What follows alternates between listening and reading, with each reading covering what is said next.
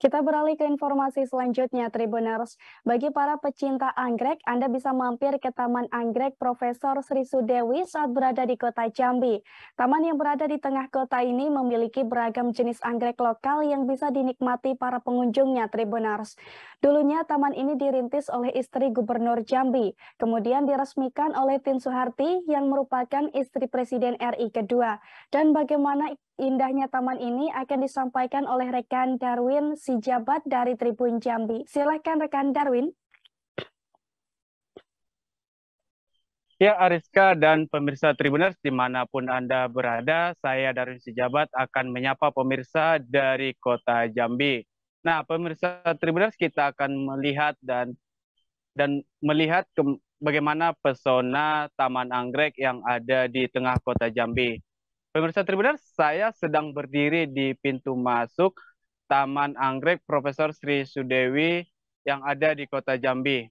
Nah, untuk masuk ke tempat ini pemirsa Tribuners, pemirsa harus cukup murah untuk kontribusinya sekitar Rp4.000 per orang pemirsa Tribuners. Kami sampaikan bahwa taman ini tidak lokasinya tidak jauh dari kantor Gubernur Jambi pemirsa Tribuners. Sejarah singkat kami sampaikan bahwasanya Taman Anggrek Profesor Sri Sudewi ini pertama kali dirintis oleh istri gubernur Jambi periode 1979 1989 gubernur pada saat itu adalah Masum Sofwan dan ini mulai dirintis pada tahun 1981 oleh istri gubernur tersebut yang bernama Profesor Dr. Sri Sudewi. Nah, kemudian dasar pemikiran dibangunnya atau didirikannya Taman Anggrek ini pemirsa Tribuners dari saran dan arahan Ibu Tin Soeharto yang sama kita ketahui merupakan istri dari Presiden Republik Indonesia kedua yaitu Presiden Soeharto.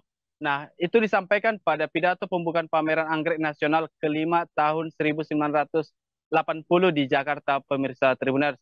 Pada pidato pameran anggrek tersebut disampaikan oleh Ibu Tin Soeharto bahwa melihat di Jambi ini merupakan salah satu daerah yang merupakan banyaknya spesies anggrek alam Jambi yang perlu dilestarikan sehingga perlu dikembangkan dan itulah dasar daripada Ibu Sri Sudewi yang merupakan istri gubernur Jambi saat itu berinisiasi untuk mendirikan sebuah taman anggrek di Provinsi Jambi. Nah, kemudian pembangunannya, pemirsa Tribunus beberapa tahun, dan pada keputusan atau ketetapan DPRD Provinsi Jambi nomor 15 tahun 1982, Taman Anggrek ini diberi nama Taman Anggrek Prof.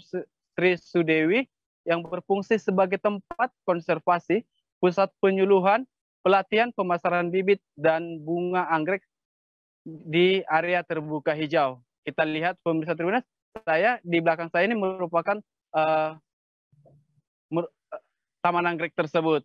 Nah, kemudian pada tahun 2011 pemirsa Tribunas selain daripada tempat konservasi ataupun pelatihan untuk masyarakat uh, pecinta anggrek. Kemudian pada tahun 2011 tersebut dibuka untuk umum sebagai tempat wisata.